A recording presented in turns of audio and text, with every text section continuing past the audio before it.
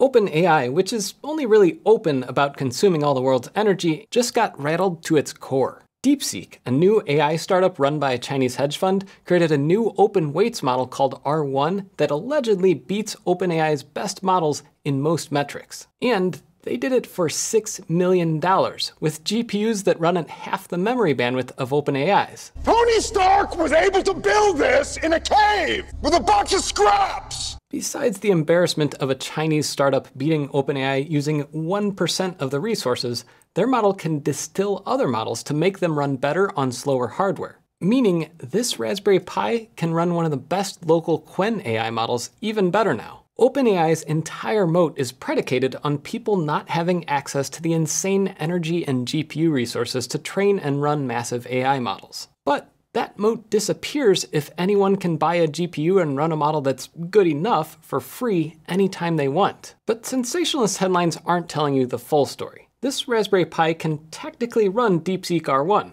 but it's not the same thing as DeepSeek R1 671B, which is a 400 gigabyte model. That model, the one that actually beats ChatGPT, still requires a massive amount of GPU compute.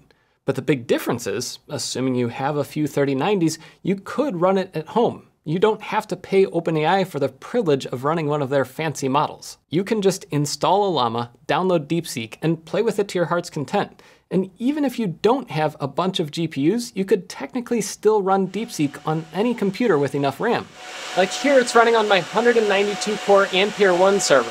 It's running DeepSeek 671B at about 4 tokens per second, which isn't crazy fast, but this server won't set you back like 100,000 bucks either. Even though it's only using a few hundred watts, which is honestly pretty amazing, a noisy server like this isn't gonna be in everyone's living room. A Raspberry Pi could be though, so let's look at how the smaller 14B model runs on it. It's definitely not going to win any speed records. Testing a few different prompts, I got about 1.2 tokens per second. I mean, it runs, but if you want a chatbot for like rubber duck debugging or to give you a few ideas for your next YouTube title, this isn't fun. But we can speed things up, a lot. All we need is an external graphics card, because GPUs and the VRAM on them are way faster than CPUs and system memory. I have this setup I've been testing with an AMD W7700 graphics card. It has 16 gigs of speedy VRAM, and as long as it can fit the whole AI model in that, it should be way faster than any CPU. And it is, like 10 times faster.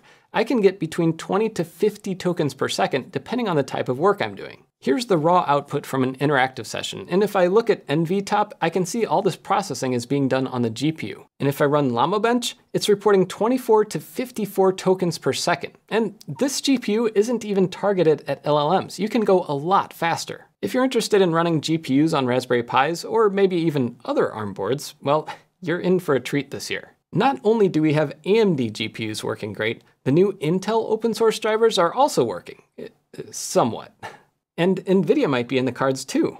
On top of that, I have an Orion O6, a CM5 ITX board, and even the HiFive Premier P550, all of which have full-size by 16 PCIe slots.